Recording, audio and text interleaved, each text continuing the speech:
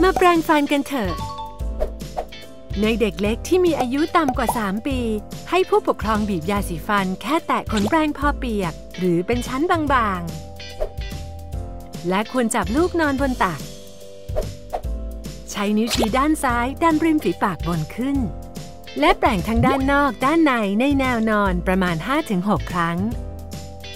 ทำแบบเดียวกันในฟันล่าง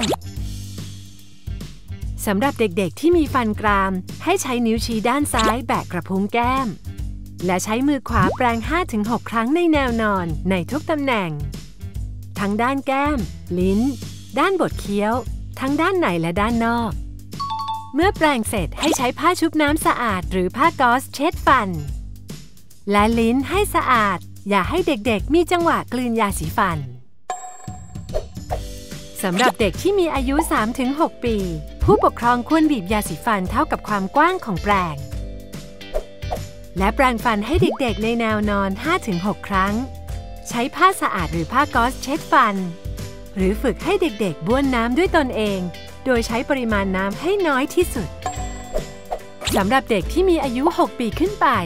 ควรบีบยาสีฟันเท่ากับความยาวของแปรงหรือ 1 นิ้ว โดยผู้ปกครองสามารถฝึกให้เด็กๆ แปรงฟันเอง และคอยตรวจซ้ำให้ เด็กๆ จะสามารถแปรงฟันเองอย่างสะอาดและถูกวิธีได้เมื่อมีอายุ 6 ปีขึ้นไป ควรแปรงฟันอย่างน้อยวันละสองครั้ง ด้วยยาสีฟันผสมฟลูออไรด์และใช้ไหมขัดฟันอย่างน้อยวันละหนึ่งครั้ง